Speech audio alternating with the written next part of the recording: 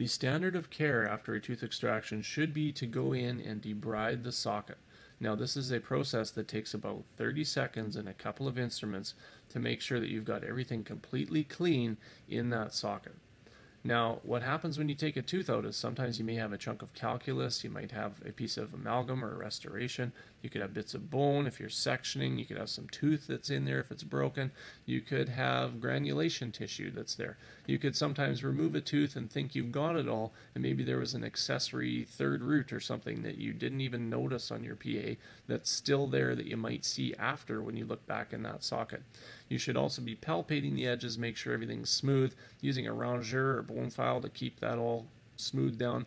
By doing this, by spending 30 seconds to a minute with every patient after you remove a tooth, you're going to prevent many post op visits because there's going to be fewer times where your patients aren't healing as well.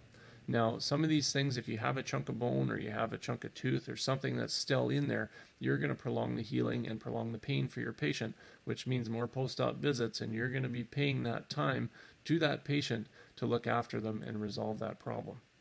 Now, what we're going to want to do as the standard for every single tooth, doesn't matter what you see on the PA, you might want to do it a little more aggressively and a little longer if you have infection or evidence of a radiolucency on that radiograph. But what we're going to do is we're going to take the tooth out.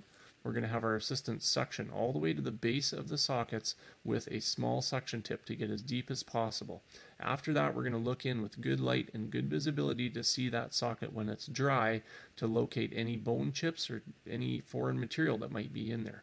The next thing that we're going to do is we're going to be aware of our anatomy and we're going to make sure that we are curetting up the socket and we're going to go right from the base of the socket, scrape all the way up the walls of the bone, and do that circumferentially around that socket while your assistant is suctioning any debris that you might be lifting out.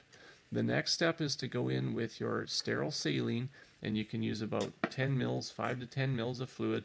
Just squirt it in there, basically flush right from the base of the socket. Again, assistant is suctioning down in there. That will loosen up any debris that you may have missed.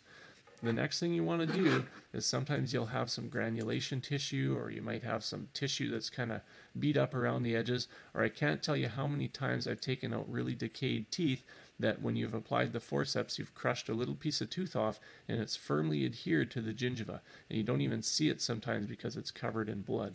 Now, when you go in here, you're going to just clip off any of these things. So you might grab that little piece of tooth tissue. You might grab some interradicular bone that hasn't been curetted out or hasn't flushed out when you're rinsing that's loose or fractured. You take that out.